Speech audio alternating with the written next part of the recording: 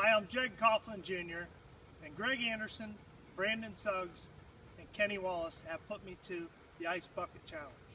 I will certainly take the challenge and also make a pledge, but further challenge good friends Scott Woody Woodruff, Joe Green, and recent Top Fuel winner Morgan Lucas.